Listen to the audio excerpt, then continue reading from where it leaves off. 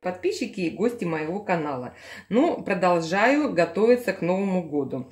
Сегодня я хочу вам показать, как быстро сделать э, вкусные сухарики для наших салатов, потому что много у нас будет салатов, где у нас э, присутствуют сухарики. Ну, у меня было время, значит, я их э, порезала, батончик оставался, я его порезала и просто подсушила не в духовке. У кого нету времени, и если нужно очень быстро это все сделать, это можно сделать за полчаса. Нарезаем свежий батон, ставим его в духовку, немножко их обязательно нужно подсушить.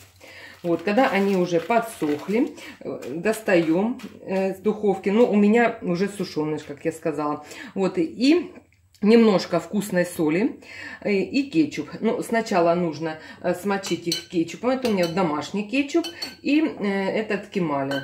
Тоже уже у меня открытая баночка. Запах будет, конечно, очень вкусный. Значит, сейчас я что их сложу в пиалочку и начну вот это вот смешивать их. Ну вот, пересыпала я наши сухарики. А, сейчас я... А, у меня есть здесь. Значит, что? Э, немножко, конечно, без фанатизма. Э, кетчуп у меня это домашний со всякими специями тоже. Кто не смотрел, можете посмотреть. Есть у меня на канале, я делала летом. И ткемали. Ну, ткемали, конечно, это вещь. Я делаю с, желтых помидор.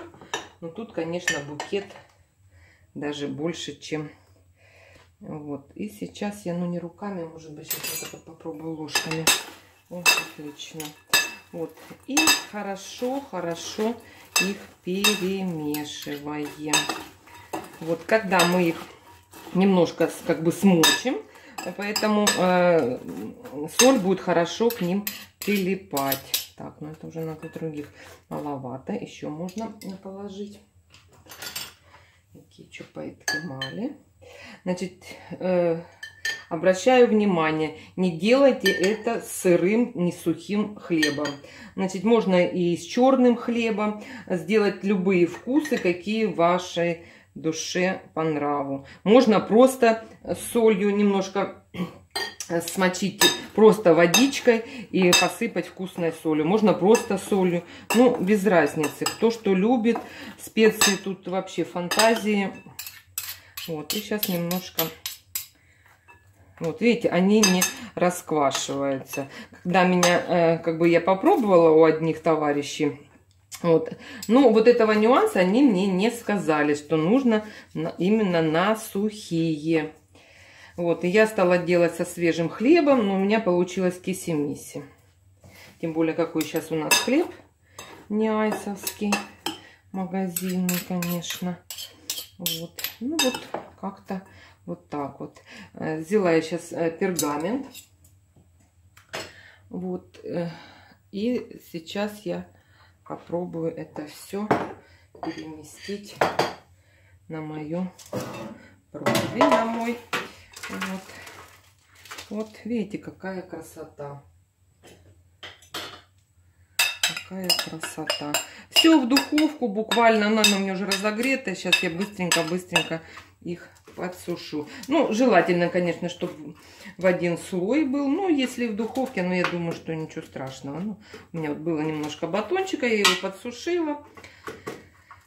Вот. А следующий раз еще с каким-то вкусом сделаю. И потом во все салаты я, конечно, и можно, ну, это с батоном как бы с борщом, супом, не айс. Вот, можно чесночную водичку сделать, чесночной водички и солью. Вот, можно просто э, как бы сделать, э, чтобы их хрюмкать. Покупаем же. Ну, я когда... Почему я начала это вообще делать? Потому что делала салат, у меня есть тоже на канале, посмотрите, очень хороший с крабовыми палочками. И там сверху надо посыпать сухариками.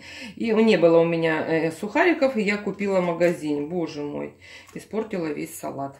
Ну, вот так вот и ставим мы теперь э, в духовку. Ну, время не говорю, потому что у каждого свое. Ну, посматриваем, чтобы они хорошо подсушились. Ну, вот такие получились хорошие поджаренные сухарики. Правда, у меня бумага была не... Э, которую не надо... Это, которую надо смазывать маслом. Но маслом я не смазала, поэтому пришлось пару раз их вытащить и немножко от бумаги как бы отодрать. Ну, вот, чтобы они такие были хорошенькие. Ну, можно просто на противне, ну, кому как удобно. Ну, мне так удобно, чтобы лишний раз не мыть противень. Ну, такие сухарики без спешки, э, быстренько, э, когда нужно, можно приготовить. Спасибо за внимание. Заходите на мой канал, подписывайтесь. Всегда с вами Марина Матвеева.